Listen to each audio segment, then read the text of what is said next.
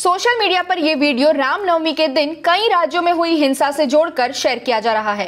दावा किया जा रहा है कि ये मुस्लिम महिलाएँ रामनवमी के दिन जुलूस पर पथराव कर रही थी और इस कारण उन्हें गिरफ़्तार किया गया है।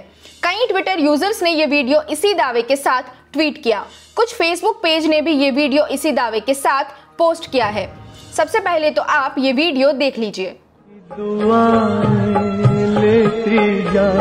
जा तुझको सुखी संसार मिले? मैं की कभी ना याद आए? इस वीडियो की असलियत का पता लगाने के लिए ऑल्ट न्यूज़ ने जाँच शुरू की। वीडियो के फ्रेम्स को रिवर्स इमेज सर्च करने पर हमें ये वीडियो 2020 में पोस्ट किया हुआ मिला। इंडिया ब्लूम्स न्यूज़ सर्विस ने बताया कि ये वीडियो यूपी के मुरादाबाद का है।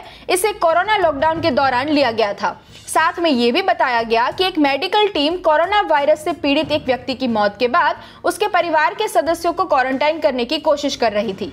तब उन पर स्थानीय लोगों ने ईंट पत्थरों से हमला कर दिया। हमले के बारे में बात करते हुए स्वास्थ्य कर्मियों ने ये बताया था।